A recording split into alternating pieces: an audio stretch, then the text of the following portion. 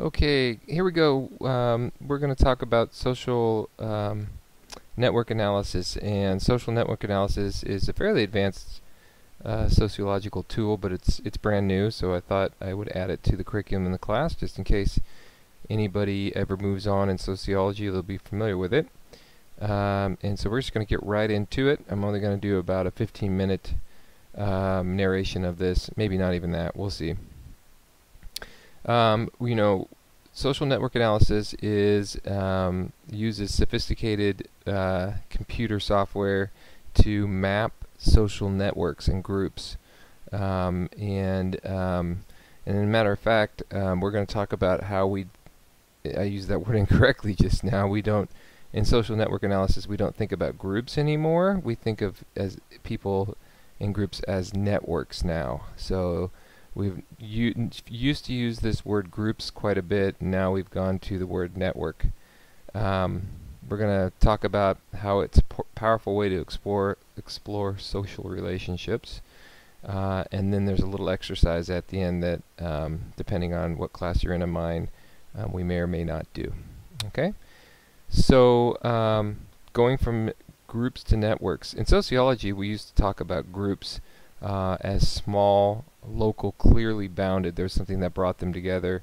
Tightly knit groups such as households, villages, small work groups, clubs, sports clubs, social clubs, these types of things. And now we're seeing society increasingly turn into um, a collection of networks. Um, things are, are broader, bigger, more far flung that as they're spread out more, they're more diverse, the people that belong to these networks. It's more fluid, people go in and out, in and out of them. Um, they don't. Uh, they're less overlapping with other things. They're really sp specific networks, um, and, uh, and and social networks are included in this. Um, but it's not just social networks. Um, this is George Simmel. He was a very very famous sociologist. In fact, he's one of my favorites. Um, and he would talk about um, how uh, we're changing from a concentric integration to segmented integration. And what does that mean? we used to think of the person in the middle here, and then the closest thing around them was their family, then their rel farther relatives, then their community, then their country, and that's how we used to like envision graphically how our lives were. And now we're realizing it's more of this intertwining of different types of networks that kind of revolve around each other. That it's not just cleanly segmented like that, um, or it's not just cleanly concentric like that. It's more segmented rather. Uh, so that's that's you know the difference between segmented and concentric integration. Everything's integrated. It's just that there's different patterns. And Sim Simmel, you can see when he when he was writing way back then, and he was picking all that stuff out. It's pretty cool. This is in fact how things have progressed and have changed. Um, we have widespread. What are the reasons for these changes in the ways that people relate to each other? We have widespread connectivity. You know, if sociology didn't keep up and didn't get some theories about why um, you know how things are changing uh, with the advent of the internet, um, we'd be lost. And, and, sociology always needs to change to the societal uh, uh, conditions that, that we live in. Uh, we have high-speed, broadly affordable travel. That's a big thing. Travel. Um, it spreads social networks beyond cities, regions, and nations. It's way more cheap than it ever has been before, and it's faster, getting faster and faster. Um, you know, wait for the train to go in California. It's going to be incredibly fast. Rapid growth of affordable telecommunications. This is goes without saying. uh, that that's why we need social network analysis to to see how we're interacting differently than ever we have ever before. We have common goals such as global peace, economic and political globalization, and the spread of trade. All these things are bringing people together from countries, and they've driven commercial and social interconnectedness as well. This is a, a, a map of social network analysis done on hubs on clusters in, of industries. Um, and you can see uh, these are all direct communications um, with different areas. Uh, and it's, uh, it's fascinating to see uh, how these uh, hubs cluster as people in industries trade and talk amongst each other. It's very, very fascinating. That's an example of what a social network map looks like. We also have weaker boundaries. Um, our families are uh, smaller, um, divorce, remarriage, increasing female participation in paid work. All these things um, are weakening uh, the structure of this typical family structure as we knew it. And we have more flexible work organization, online working, people working from home. You know, just look at your online classes. I mean, that was something that we never had before. So things are more flexible than they've ever been. Open and, and informal networks of civic involvement and new social movements. Um, so it's easier to get involved with things. You, you, you know, especially with the internet, you, you can easily join clubs. Uh, you don't have to have someone recommend something to you. You can actually go search for it yourself. Um, all these things are are changing the structure of our society as we know it, um, and thus get making us have to examine networks as opposed to groups.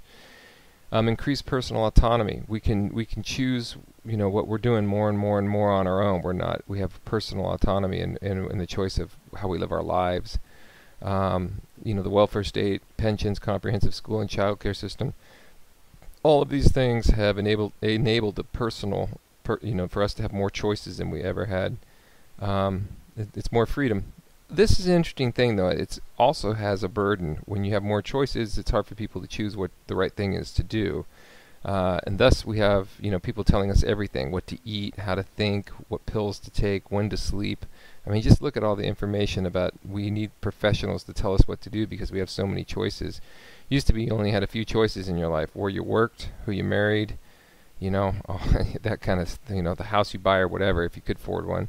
Uh, but now there's, what kind of cheese do you buy at the store? Do you buy low fat, non fat, full milk, skim milk? I mean, there's like 10 different types of choices of milks. It's fascinating. So, this autonomy that we have um, is uh, changing how we, so we interact with each other as well. We, we're not as needing, needy, needy, rather, of other people as we used to be. Um, we are increasingly becoming individualistic in our values and interests. We're not going to groups. You know, you see more third party, fourth party things happening in politics all the time. Um, let's see. Uh, we don't really need to talk about any of this, so I'll move on. Um, we have computer mediated communication facilitates face to face contacts more than it ever has. Internet and mobile phones uh, help us manage a larger and more diverse and personal set of relationships than we ever could have ever had before based upon all this technology. Localized networks is what we call them. So it's interesting stuff. I'm going to cruise through this section pretty fast. Um, how do we, you know, explore relationships with social network analysis? Um, uh, you know, I really don't need to talk about this one, but let's talk about this. What is a network? We can see this is actually a network. These are all people, and we call them nodes. And then this, are these are called edges or arcs. This contact with another node or individual is an edge or an arc. Um, and then um, the whole thing is called a network, uh, the collection set of nodes. It's called a network. Um, and um, I mean, it, it, can be anything, but it, it, these are called nodes because it doesn't have to be people. It could be genes, brain cells, cities, how cities communicate. Um, it can be almost anything. Um, and we represent these things in a graph, and you can really visualize where the more communications are happening better than just saying these guys are a group. This whole thing's a group. Well, this guy's not talking to this guy, so we have more defined uh, analysis of what's going on within the group or the network now. The main goal of SNA is detecting and interpreting patterns or structures of social ties. These, this is how we, we see what patterns happen with, with the ties that we have amongst each other. Um, and we can find out if they exist or not more than we ever have. These patterns are largely hidden unless we look for them using social network analysis. It's very complex, but um, there's they follow rules. These patterns of social ties they follow rules. Um, I'm not going to get into this. We'll we'll we'll get into homophily um, a little bit, but not right now. This is another uh, diagram of social network analysis. It's fascinating stuff. Um, you can click on that link down below if you want to check it out more. Um, you know, how do how do patterns of social ties how do they relate to the variables of interest? Examples are conflict are sparsely connected networks more contentious than densely knit networks? Um, so you know do the ones that have more communication are they less li liable to have conflict? We've always said that communication is the key. Now we can actually study and see how much communication is happening and then compare that to the the networks that aren't getting along or that have conflict Um, it's interesting stuff. Another, these are all little nodes, but they're color coded for different types of things. Um, and this is something that we're going to talk about, and this is so part of social network analysis. Is why I put it in the food um, section that we're going to talk about, which is this study that's a massively famous study, and I'll talk about it. Um, homophily and influence. Um, these are the two network mechanisms of um, that really that we see where influence happens. Um, happiness, poverty, obesity may spread by influence, by homophily, and also shared exposure to similar environment factors such as deprived areas or general happiness environments. So when you see that there's similar attributes with somebody, you're going to have a social connection with them, and then you're going to be more likely to have influence by them because of your perceived similarity. Okay, you, you might want to replay that to get that, but that is similarities right there. Your perceived similarity. That's a person like me, so I'm going to watch and be influenced by what they do. Okay, that's part of something we can study in social network analysis.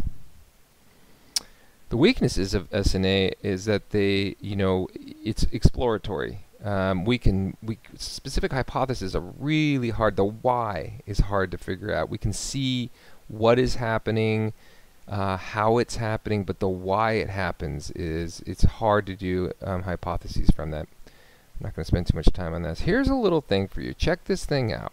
I want you to go to Gephi and download it. Okay, if you, if you download Gephi, you can run a social network analysis of your Facebook, and you will be the only one that gets the report on that. Um, but I might do. Here's an example of network visualization on on um, Facebook. Uh, you can see there's like it, this is uh, this guy's uh, network, and he's got people out here that are all on this network and not even connected with this one.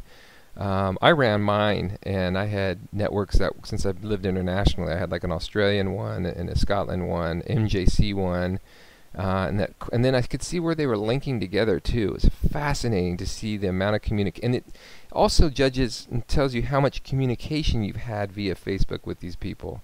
It's an amazing thing. Uh, so uh, here's some questions uh, for you, and I'll post whether I want you to do that project or not. Or does your Facebook network look like a bound, uh, like a bounded, tightly knit group, or a sparsely knit, fragmented network? Can you identify the subgroups? That's fascinating. And do they overlap or split the network?